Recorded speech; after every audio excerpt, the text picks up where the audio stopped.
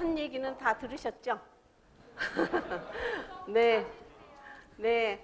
아, 저는 오늘 어, 여러분들의 생각을 펼쳐나가는 그런 어, 모토를 가지고 얘기를 하지만 저는 그동안 많은 시간 동안 제 꿈을 또 생각을 어떻게 펼쳐나갔는지 그런 거에 대해서 간단하게 말씀을 드리고자 합니다. Now I'm going to explain about uh, uh, my thoughts and uh, dreams, how I developed uh, during for the last times, because I know that there is uh, interpretations, but for your easy reference.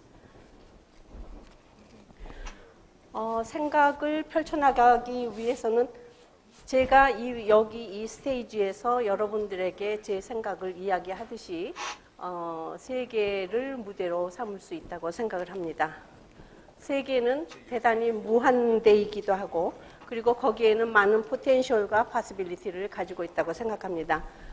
그런데 어떻게 자기의 생각을 자유롭게 펼쳐갈 수 있는가 하는 것은 여러분들이 일상생활에서 얻을 수 있는 정보, 뉴스, 그리고 트렌드, 이슈 이런 것들을 항상 collect를 하는 저장소 역할을 해야지 됩니다.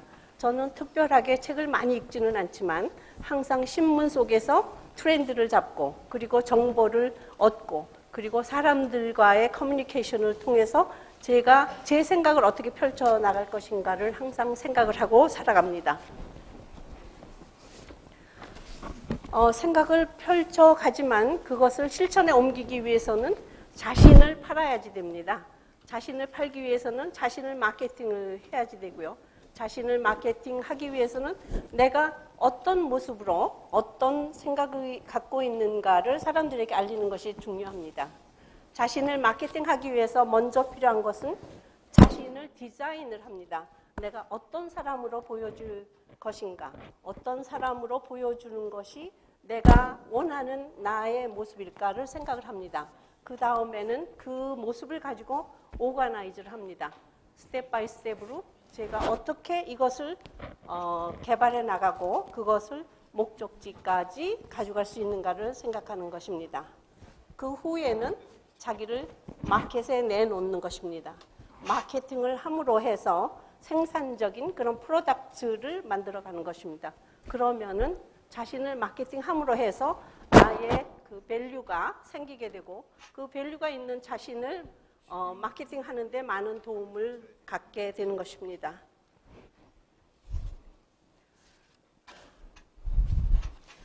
누구든지 많은 생각을 하고 있습니다. 그러나 그것을 어떻게 펼쳐 나갈 것인가 하는 것은 각자마다 다 다릅니다. 얼마 전 젊은 대학생들과 대화를 나눠 보았는데 그 사람들은 어떻게 생각하면 굉장히 그 편협적이라는 그런 생각을 했습니다.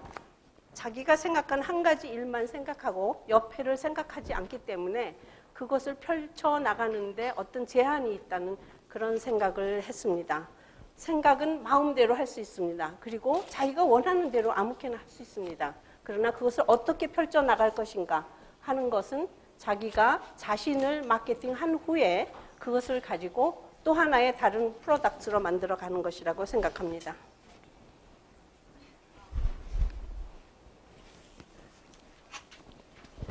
여러분들은 motivation이라는 이야기는 많이 들어보셨죠? 학생으로서 또 사회인으로서 motivation이 없는 사람은 죽은 사람과 같습니다. 항상 자기가 어떤 것을 할 것인지 동기 유발이 없다면 그 사람은 어, 식물 인간이나 마찬가지입니다. 일을 하는데도 마찬가지고 공부를 하는데도 마찬가지입니다. 그래서 모티베이션은 절대적이기도 합니다. 그래서 항상 여러분들은 모티베이션을 어, 갖기 위해서는 항상 호기심도 가져야 되고 모든 것에 관심을 갖고 있어야지만 된다고 생각합니다.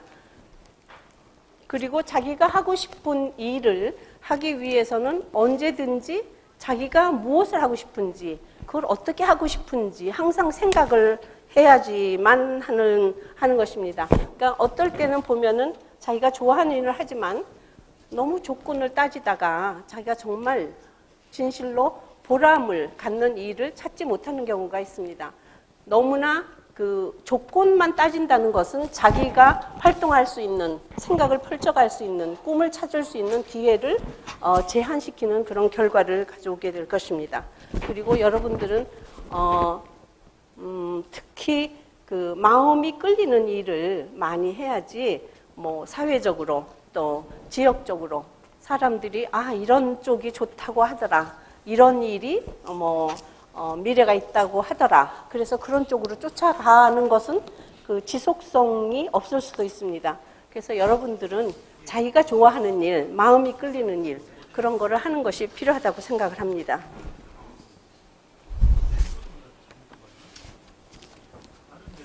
어, 그렇다 그러면 어떤 내가 되기를 원하는가? 저는 그 제가 원하는 스타일의 어떤 쉐이프를 항상 생각하고 있습니다. 근데 저는 뭐 어, 외교관이 되겠다, 정치가가 되겠다, 무슨 다른 어떤 큰 어, 사람이 되겠다는 생각은 한 번도 안 해봤습니다. 저는 항상 제가 할 수 있는 일, 제가 일을 할, 학교 다닐 때는 학교에서 공부하는 일, 그리고 회사에 이렇게 다니면서는 제가 어떤 모습으로 내가 보여줘야지 되는가를 항상 생각합니다. 여러분들이 오늘 어, 보셨겠지만 제가 스타킹을 좀, 좀 특색 있는 거를 신었는데 이것도 제가 제 모습을 표현하기 위한 하나의 방법입니다. 그러니까 저는 비싼 옷은 입지 않지만 어, 저 나름대로 특징이 있는 그런 캐릭터를 보여주는 그런 편입니다. 그래서 여러분들도 어, 자기를 아까 얘기한 마케팅 하기 위해서는 자기 나름의 스타일을 갖고 있어야지 됩니다. 그리고 어, 저는 항상 다른 사람이 생각하는 거와는 조금 다르게 생각을 합니다. 다르게 생각한다는 것은 무슨 이상하게 생각하는 것이 아니고 어, 다른 사람들이 평범하게 이렇게 똑바로 생각한다 그러면 저는 굴곡을 주면서 생각할 수도 있고 그리고 어, 경쟁은 가능하면 하지 않습니다. 경쟁을 한다는 것은 뒤지거나 아니면 그 사람과 같다는 그런 뜻이기 때문입니다. 그래서 저는 경쟁을 하지 않기 때문에 일을 하면서 공부를 하면서 덜 피곤했습니다. 왜냐하면 경쟁을 하려면 너무나 피곤하거든요. 그러나 제가 제 길을 찾고 그리고 그쪽으로 가다 보니까는 경쟁을 하지 않게 되는 거죠.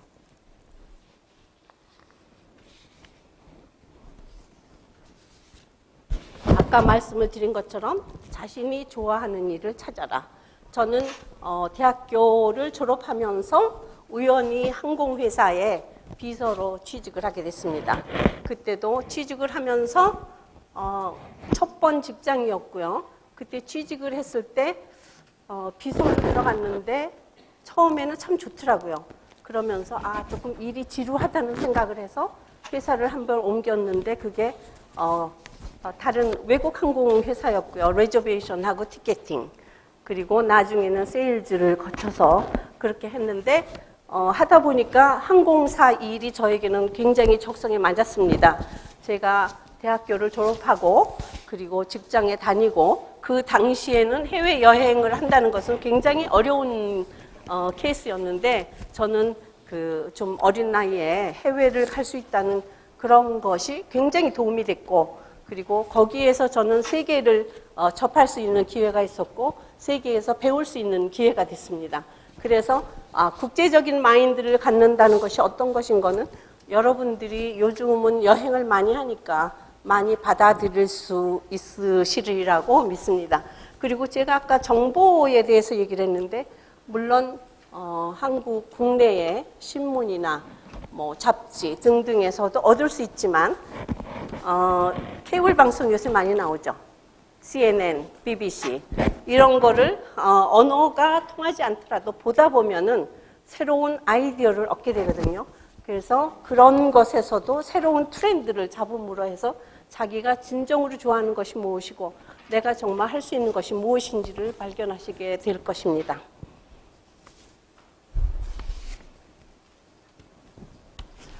누구나 생각은 쉽게 할 수 있습니다. 그러나 그것을 결단을 내리고 실천하는 것은 그리 쉽지 않습니다.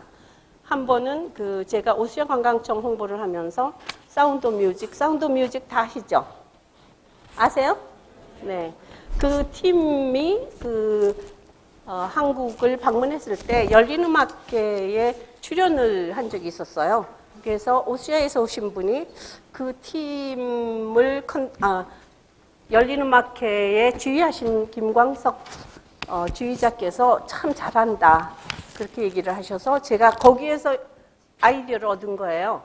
아, 그렇다면은 이 열린 음악회 팀이 비엔나에 가서 공연, 공연을 한다고 해도 수준에 있는 공연을 하겠구나.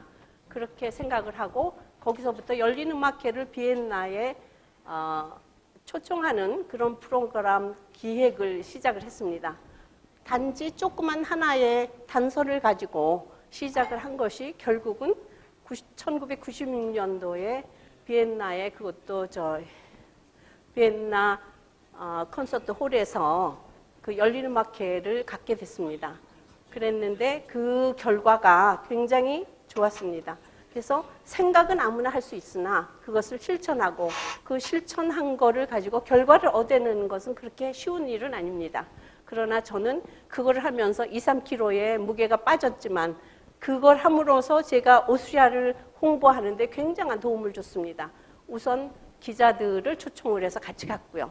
그리고 KBS에서는 뉴스를 통해서 많은 그 당시의 상황을 어, 한국의 뉴스로 보내줬고 그리고 거기에서 공연을 했을 때는 어, 카메라맨을 KBS의 홍보실 직원들 말고 카메라맨을 별도로 두 명을 섭외를 해서 한 사람은 근접 촬영을 하고 한 사람은 멀리서 촬영을 하고 그래서 국내에 사진을 보낼 때는 각각 다른 사진을 대부분은 하나나 두 개의 사진을 활용을 하는데 그 경우에는 많은 사진을 어, 활용을 했습니다. 김건모 잘하시고 조수미 또 조영남 씨, 김동규 씨 그런 분들이 그때도 유명했지만 그 후에 더 각광을 받은 그런 분들이 되었습니다. 이처럼 생각하는 거는 참 쉽지만 그를 실천하는 것은 굉장히 어렵습니다. 그래서 저는 지금도 어, 그때 그것을 제가 어떻게 어, 실천을 할 수 있었을까 하는 생각을 합니다. 여러분들도 생각이라는 건 굉장히 쉽지만 실천하는 게 어렵습니다. 그래서 언제든지 생각을 하고 그것이 옳다고 생각할 때는 꼭 실천을 하시면 보람이 있을 거라고 생각합니다. 어, 제가 항상 그 인턴이라든지 알바이트 하는 사람들한테 이야기를 합니다. 직장을 선택하기 전에 누구든지 인턴을 하고 그러는데 아무 데나 들어가는 거는 어, 굉장히 위험하다고 생각합니다. 자기가 처음에 시작하고 알았던 일이기 때문에 하는 경우가 굉장히 많거든요. 그래서 첫 번째 어떤 직장에서 어떤 학교에서 어떤 공부를 하고 어떤 일을 하느냐에 따라서 그 사람의 어, 장래가 어, 결정이 된다고 생각합니다. 왜냐하면 가다가 어렵게 되면 자기가 알던 일들을 다시 시작하게 되거든요.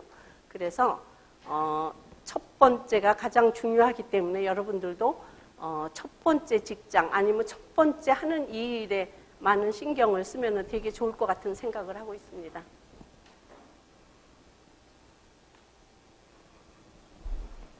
아까 마음을 젊게 갖는다 그랬는데 저는 여러분들보다도 굉장히 대선배거든요.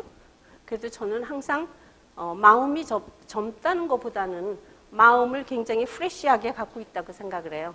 그러니까는 나이라는 것은 그 사람들이 숫자에 불과하다고 얘기를 하는데 저는 나이라는 것은 경험과 지혜라고 생각을 합니다. 그래서 항상 그 생각을 어, 포지티브하게 갖고 그리고 항상 새로운 생각들을 하고 어제보다 어제를 오늘처럼 생각하고 또 오늘을 또 내일로 만드는 그런 자세가 항상 어, 저는 몸에 배어 있습니다. 그래서 지금도 여러분들도 물론 영하고 프레시하지만 저의 모습도 비교적 프레시하다고 저는 항상 생각하거든요. 왜냐하면 저는 어저께처럼 오늘을 살고 있기 때문입니다. 아, 그리고 제가 마지막으로 여러분들에게 아, 꼭 전하고 싶은 이야기가 있습니다. 3S라고. 그래서 첫 번째 S는 simple. 생각은 항상 간단하게 생각하고, 그 다음에 smart. 그거는 어, 행동할 때는 굉장히 어, 스마트하게 행동을 하고, 그리고 speed. 마지막은, 마지막 S는 speed입니다. 그거는 실천하는 것은 곧바로 실천을 하라. 그래서 3S라는 그런 단어를 여러분들에게 전해드리고 싶습니다. 그리고 또 하나는 항상 생각을 하고 생각이 흘러야지 된다는 거죠. 생각이 흐르는 속에서 여러분들은 모멘트를 찾아내고 그리고 기회는 오면은 잡아야지 되지만 때로는 기회는 여러분들이 만들 수도 있습니다. 그래서 어, 여러분들이 자기가 원하는 모습으로 그런 세계를 무대로 해서 꿈을 펼치고 생각을 펼쳐갈 수 있다고 생각합니다. 제가 사실은 목소리가 더 좋은데 오늘 감기가 들어가지고 목소리가 좀 허스키했습니다. 용서해 주시고 여러분들 감사합니다.